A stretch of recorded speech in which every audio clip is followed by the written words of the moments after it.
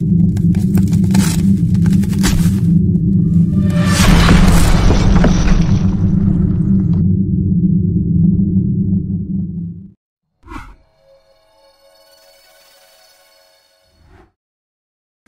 вернулись. Старток — спортивное издание.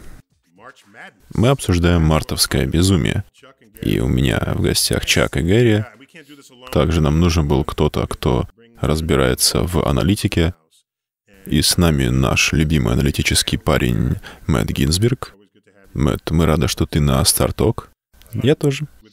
С своей докторской по математике он выкладывает нам все, что знает.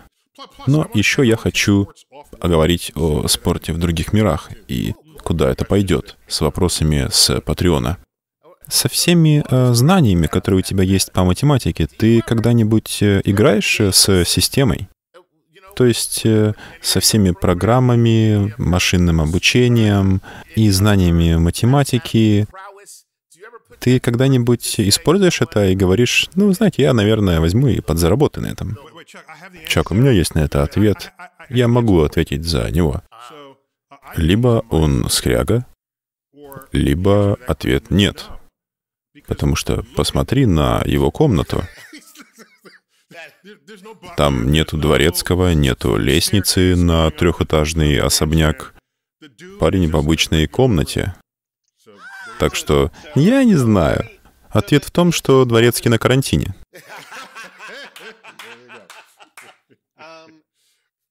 На самом деле, смешного мало. У меня был друг, который поехал в Лас-Вегас и играл в Блэк Джек. Он очень математичен, и в конце он сказал, что он заработал всего 15 центов.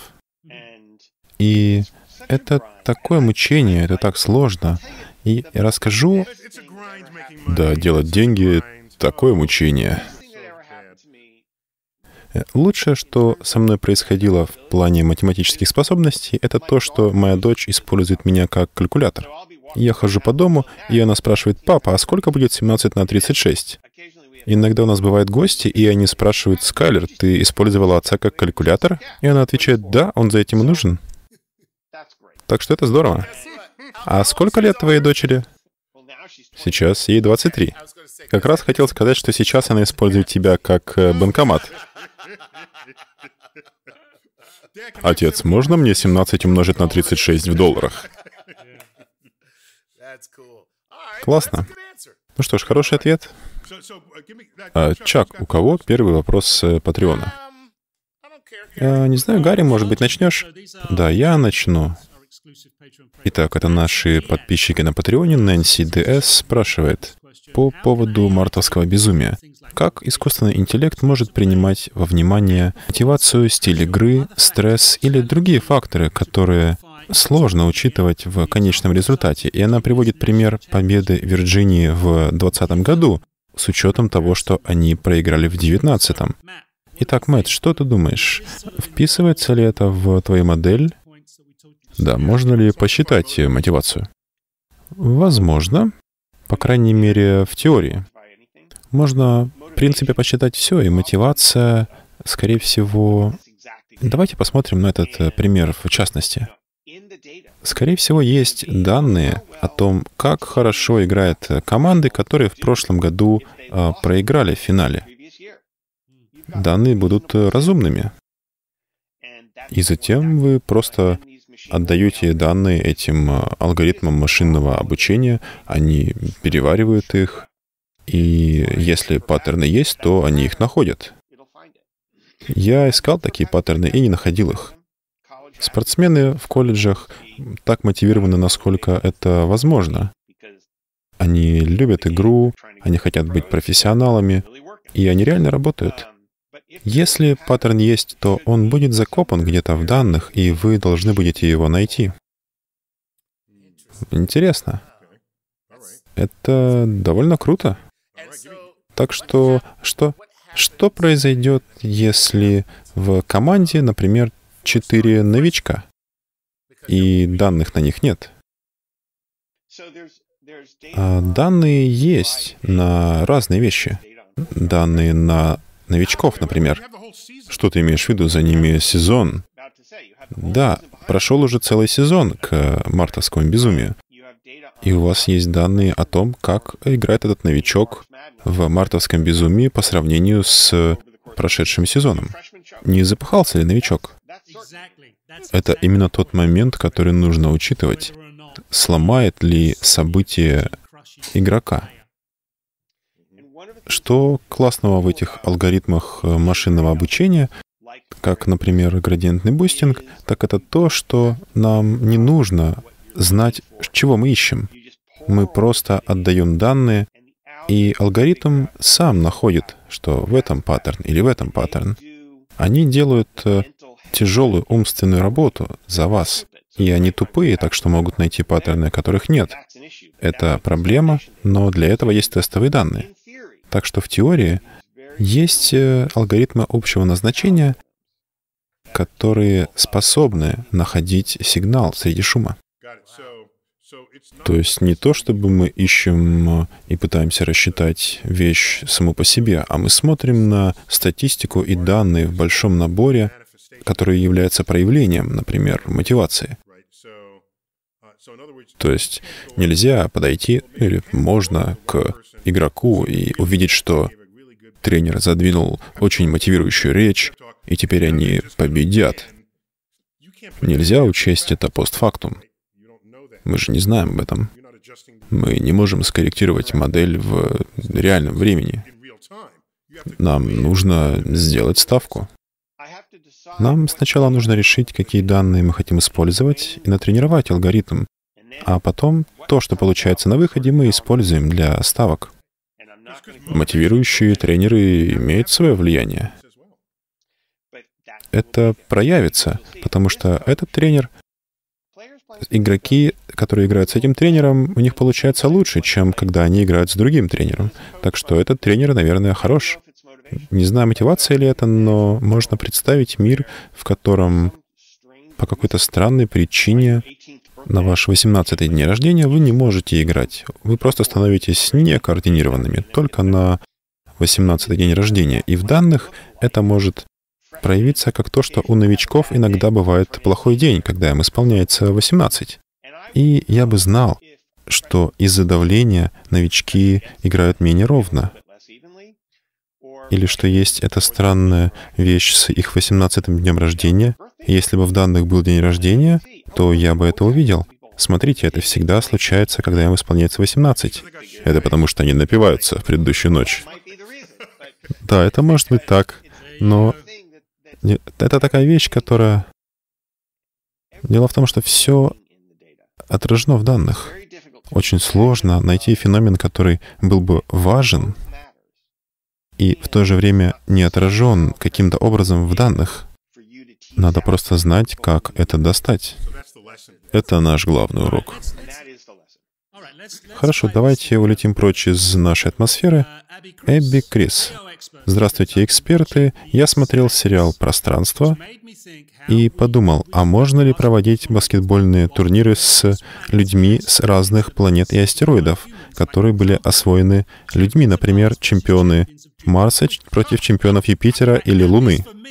Для меня это интересно, потому что есть целый новый набор метрик, которые нужно встроить в машинное обучение. О чем нам нужно будет подумать, чтобы сделать это поле равным и честным для всех команд? Мне нравится ваше шоу, делайте то, что вы делаете. И как некоторое вступление к этому, а, Мэтт, когда люди начали готовиться к Олимпиаде на большой высоте, и это не другая планета, это та же самая планета, но просто другие условия, в которых их тело тренируется. И сейчас они идут на тот же самый стадион, и одни люди выигрывают у других. Это интересное осознание, что, возможно, среда, в которой ты тренируешься, гравитация, качество воздуха, плотность воздуха, они проявятся в твоих результатах. Я согласен. И я думаю, что исторически, не знаю, что будет, когда будут люди с Марса, но исторически мы это не компенсируем. И кенийцы выигрывают марафоны. Это просто так. Но нет ничего в правилах, что говорит, что они должны бегать с грузиками на ногах. Как фору. Да, и НБА никак не пытается сделать игру проще для низкорослых. Дайте ему стремянку. Или батут. Да, мы это не делаем. Если марсиан, ну, людей с Марса, какие-то физические отличия, что они играют лучше, надеюсь, что мы бы просто порадовались вместе с ними. Жизнь на Марсе, скорее всего, так себе, так что мы бы просто порадовались, что они лучше. Ведь э, вам нравится смотреть марафоны, потому что люди в этом так хороши. Я не знаю никого. Ну, например, я никогда не грустил от того, что я не профессиональный рестлер и никогда не стану. Время есть, время есть. Чак, ты беспощаден. Давайте вернемся на минутку на эту планету. Если я еду с западного на восточное побережье и был высоко, а спускаюсь к уровню моря, то есть восстановление, насыщение кислородом. И разве все эти факторы не влияют? Конечно, влияют. Точно так же, как играть на своем поле. Но уже нет, ведь фанатов-то нет. Да, это честно. Но играть в Фенве — это не то, что играть на Ригли Филд, это зеленый монстр. И игроков из Бостона частично подбирают на основе того, есть ли у них природные способности, которые позволят им эксплуатировать особенности их поля, как делали янки? Так много лет. Их линия правого поля была одна из самых коротких из всех стадионов. Около 296 футов, очень короткая. И у Янки было несколько леворуких отбивающих, которые делали хомраны только за счет этой короткой террасы на правом поле. И ты прав, Мэтт, мы же не идем и не говорим.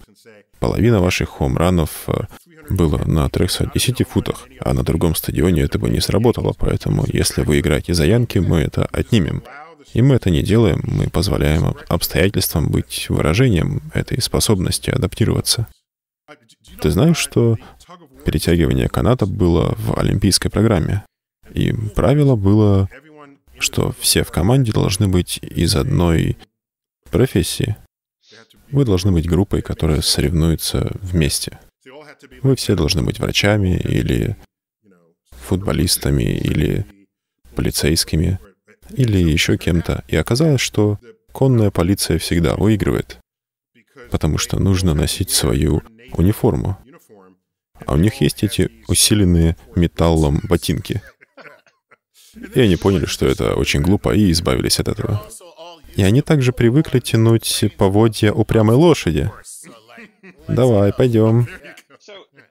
Я видел похожее. Моя жена участвовала в гонках на гидропланах.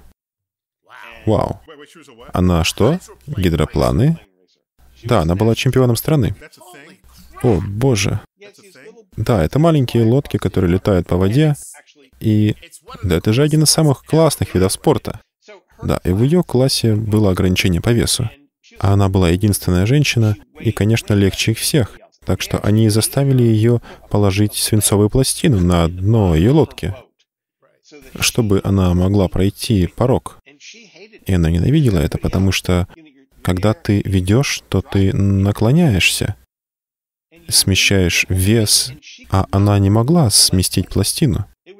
Она просто лежала на дне, и она наклонялась, но с гораздо меньшим весом. А почему они не дали ей такой жилет с грузиками, чтобы она могла наклоняться с такой же массой? Она решила, что свинцовый груз — это лучше. Да, и она победила их всех все равно. Так что с ней все было в порядке. Она настолько соревновательная. То есть я могла бы разодрать вас в клочья и уничтожить, но это просто будет победа. Ну, говоря о преимуществе игры на своем поле, то в межпланетном соревновании это бы имело значение, играешь ты на твоей планете или нет.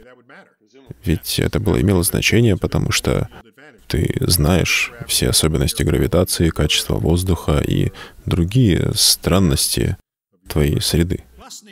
Нил, если мне нужно попасть с одной планеты на другую, и это какое-то количество световых лет, то мне нужно попасть туда, акклиматизироваться, и мне нужно приехать за какое-то количество лет заранее, чтобы это компенсировать. Это будет что-то похожее на... Как это называется в теннисе, где есть четыре турнира, но они на разных кортах. Большой шлем, да, большой шлем. Уимблдон на траве, а кто-то на грунте. Ролан Гарос?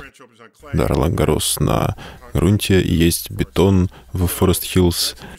Интересно, и чтобы победить во всех четырех турнирах, нужна комбинация а, способностей, и это делает победу во всех четырех такой впечатляющей. Одного навыка мало.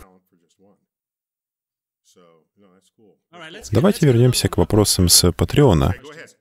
Его зовут э, прекрасным именем Крейг Вудхаус, и он из Новой Зеландии, где они хвастаются фактом, что они остановили ковид. Поздравляем.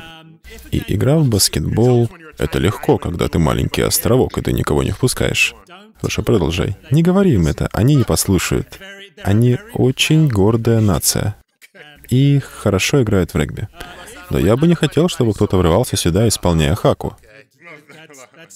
Сто процентов. И он спрашивает, если баскетбол проводить на Марсе, в помещении с атмосферой и давлением Земли, можно ли будет делать слэм-данк с трехочковой линии? И считалось бы это за три очка? Или нам нужно другую планету? О, хороший вопрос, и мы вернемся к нему после перерыва на старток. Переведено и озвучено на студии Стаханов 2000.